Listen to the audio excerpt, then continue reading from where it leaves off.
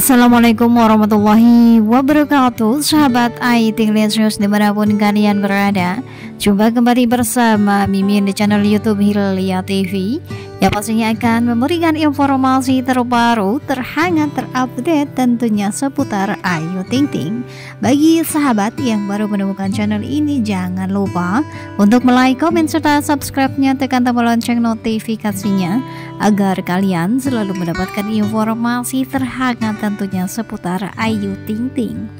Dan informasi akan Mimin sampaikan pada kesempatan kali ini Kita akan melihat nih pemirsa ada pria yang digadang-gadang calon suami dari Ayu Ting Ting. Wah wah wah, luar biasa.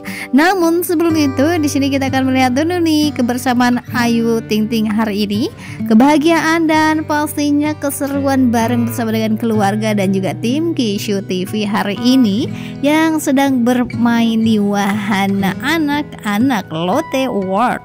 Lihat saja pemandangan yang disuguhkan di sana sangat luar biasa. Lotte World di Korea, Seoul pemirsa.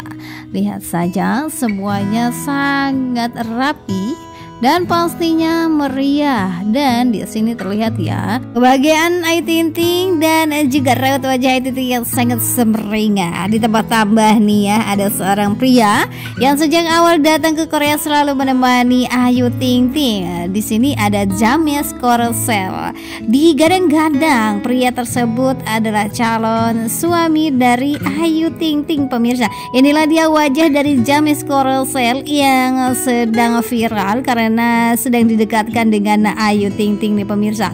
Lihat saja wajah Ayu Ting Ting sangat semeringah berkata dengan laki-laki tampan tersebut. Pakaiannya sangat body ya pemirsa, blang-blang dan coraknya bersama nih dengan Ayu Ting Ting yaitu putih-putih hitam.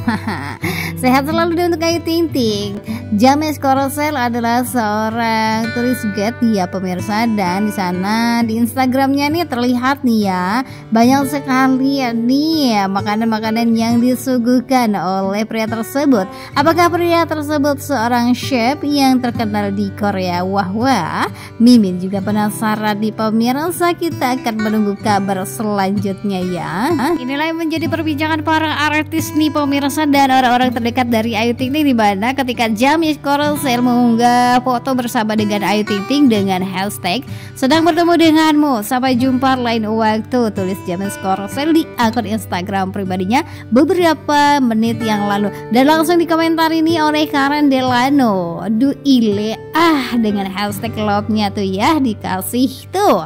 Dan di sini juga langsung dijawab oleh Jamil. Terima kasih Opa hahaha dengan hashtag yang sama nih ya diberikan love-nya oleh Jamil.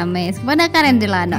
Dari You Think Thinky Poppers diam Anda sebuah maaf opa. Dan ada Kiki Saputri ini pemirsa. Haha cie. WK WK WK happy happy. Tulis James juga nih. Dari Jeng Dila. Akhirnya ketemu juga ya sama calon istri dari James Korsel iya makasih. Hahaha doain ya wah ada yang minta doa nih sama kita semua nih ya.